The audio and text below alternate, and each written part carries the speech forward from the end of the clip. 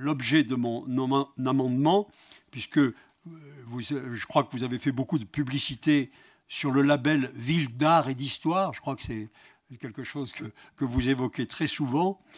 si on ne veut pas que ce soit une seule opération de com, eh bien, il faut remettre en état ce, bâtiment, cette église, qui est un atout important pour l'attractivité culturelle et la mise en valeur historique de la ville. Je, présente tout de suite mon deuxième amendement, euh, monsieur le maire. Très bien.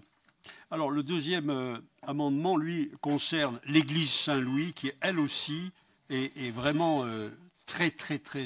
les trois édifices cultuels de la ville qui sont à la charge de la ville de Grenoble sont vraiment dans un piteux état.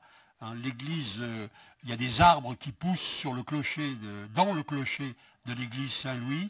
Les feuilles bouchent les chenaux. Les écoulements d'eau affectent le transept, euh, offrant un aspect pitoyable.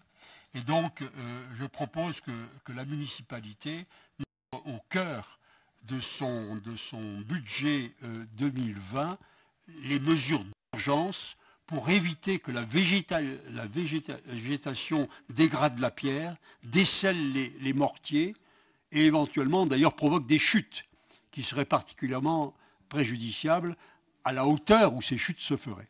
il y a vraiment urgence à une intervention rapide de la ville en faveur de l'église euh, Saint-Louis, qui est sa propriété. Et le troisième, c'est le troisième, euh, édifice de la ville, le troisième édifice euh, église, qui est l'église Saint-Bruno, c'est pareil.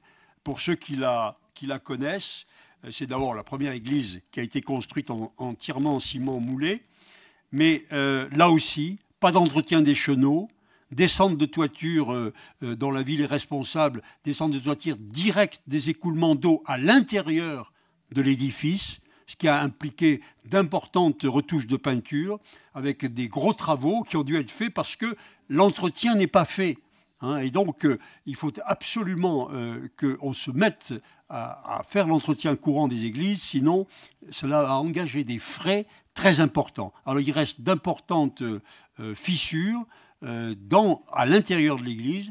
Et puis, il y a aussi la question qui, qui vraiment intéresse la place, c'est l'horloge publique, qui, a bien, qui est bien évidemment propriété de la commune.